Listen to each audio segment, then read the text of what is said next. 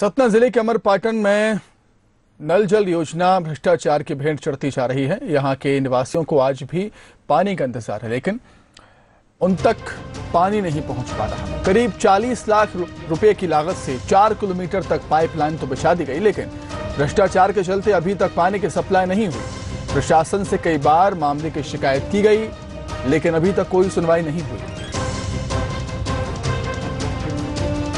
में बोला ठेका हुआ था कि पाइपलाइन घर घर पहुंचेगी पानी पहुंचेगा। आज स्थिति ये है कि, कि हमारे मोहल्ले में कहीं भी नल कनेक्शन नहीं दिए जा रहे हैं और ना कि पाइपलाइन है उखड़ी पड़ी हुई है जो भी पड़ी हुई है उखड़ी पड़ी हुई है। वार्ड क्रमांक दो में जानबूझकर पूर्व के जो उप उपयंत्री थे उनके द्वारा उस पाइपलाइन को मेन लाइन से नहीं जोड़ा गया जिसके वजह से चार वर्षों से वहाँ की जनता कम से कम 500 घर पानी से, पानी पानी से प्रभावित हुई है। ये इशू तो तब होता है जब अपने पास व्यवस्थाएँ हो और हम उनको पानी न दें, क्योंकि वर्तमान में टंकी से सप्लाई नहीं हो पा रही है।